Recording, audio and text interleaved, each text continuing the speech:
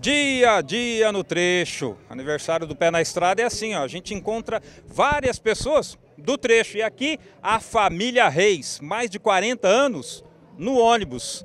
40 anos de estrada, puxando não carga, puxando pessoas aí. Com certeza. Há mais de 40 anos nós iniciamos nossa caminhada aí e estamos aí até hoje. Pé na estrada.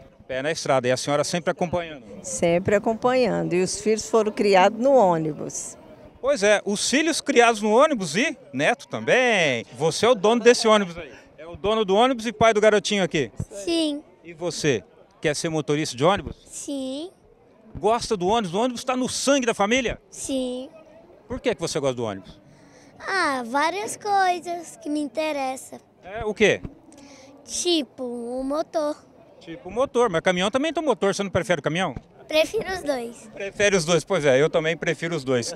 Rapaz, fala um pouco desse ônibus, o, o ano dele, conta um pouquinho da história dele. Ele é 1977, ele está com a gente porque ele veio trazendo a, a, lembrança que a gente tinha quando eu era do tamanho dele, eu andava nele com meu pai, a gente viajava, eu tenho lembrança, deu pequenininho num ônibus desse.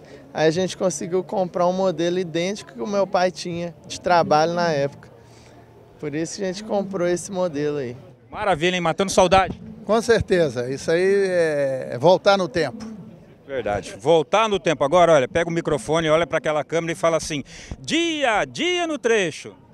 Dia a dia no trecho. Valeu.